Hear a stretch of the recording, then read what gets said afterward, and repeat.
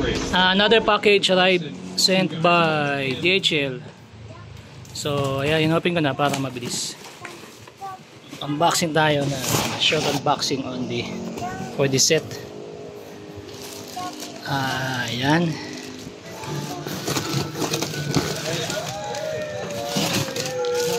So, this is for KTM. KTM Adventure 790, 890. So, this is a custom made. Custom made by factory abroad. Uh, request by client na ganitong design. And this is designed by one of my clients. So, ito yung gusto niyang design na ganyan and then with this uh, slip on elbow na buo siya so ayan uh, again it's a custom made designed by my client uh, as uh, requested by my client. So ito ang finished product ng factory abroad. So ayan so and also the materials is made of uh, real titanium and also handmade handmade craft and these are real carbon of course. Also that one especially this uh, tip or cup.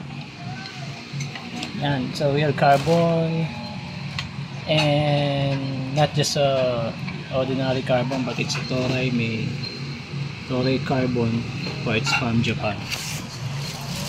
So, ayan, uh, this is for KTM ADB 790 890 Adventure na KTM. Slip-on set. So, ayan, oh, yung dulo niya. Punta dun sa elbow o I mean sa catalytic as slip-on set. And ito naman sa syempre sa pocket holder niya. Ayan, ito yun, may kasama ano yan. Uh, screw. Aloob eh. Hindi ko na-open. Screw to, screw.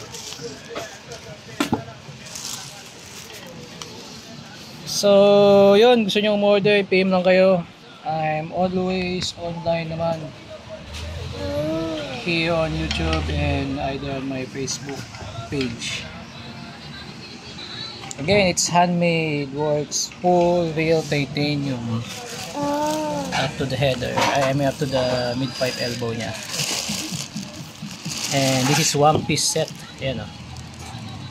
So, yan. Ganyan kaganda pagka uh, pagka handmade titanium. Yan o. Oh.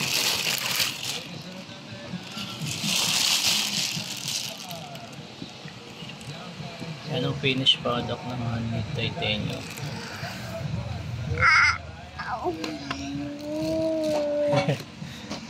yeah.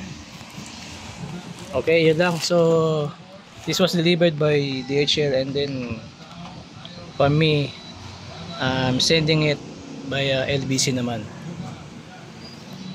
to my client's address. Ayun lang. PM na lang kayo mga bossing. Mura lang yan.